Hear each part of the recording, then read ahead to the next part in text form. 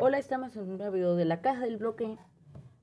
Y este video no lo iba a subir hoy. Yo iba a subir eh, el de la revista Lego Jurassic World, pero eh, lo puedo subir.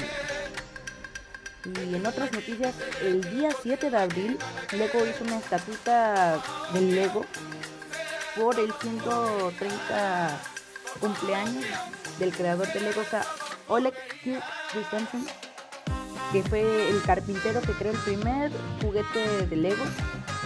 Podemos ver que le hicieron una estatuita y está muy bonita. Y en otras noticias de Lego Star Wars, el videojuego de, de Skywalker Saga ha sido retrasado porque la desarrolladora TT Games ha dicho que le quieren meter mejores gráficos. Yo sinceramente como fan de Star Wars ya, ya quería tener el, el juego pero, hey, al menos tendremos mejores gráficos. Mm, probablemente se retrasa hasta 2022, pero nada confirmado. Entre otras noticias, para los fans del, del show de Lego Master, ya se confirmó que va a haber una segunda temporada que va a transmitir en Fox y va a ser emitida el 1 de junio.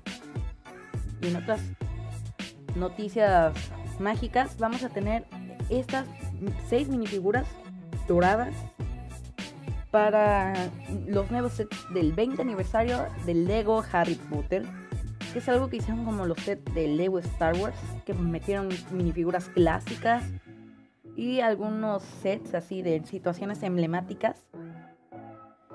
Y los sets todavía no se han confirmado, pero yo ya los quiero ver. Y las minifiguras que van a estar, bueno, van a ser las este, los personajes de Ron, Hermione, Snape, el profesor Quirrell, Harry y Voldemort. Y me hubiera gustado que hubieran metido a Dumbledore o alguien más. Bueno, también esto del minifiguras doradas es lo que hicieron con los sets del 10 el décimo aniversario de Ninjago. Y en Washington, creo, este, se ve en una tienda que, creo que era Target. Este nuevo set de Speed Champions, que son carros Dodge.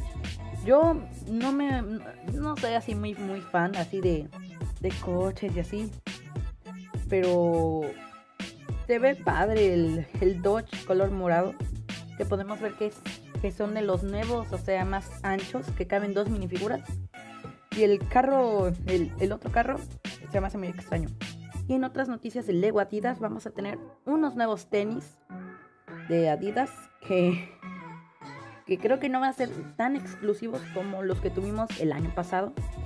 También podremos ver que, que tiene unos bricks que se pueden customizar. Bueno, el zapato es customizable. Y yo no sé si los llegue a conseguir. Probablemente no. Pero ustedes díganme, ¿Les gustan estos nuevos zapatos de Adidas? ¿Les llaman la atención? ¿O, o lo van a dejar pasar?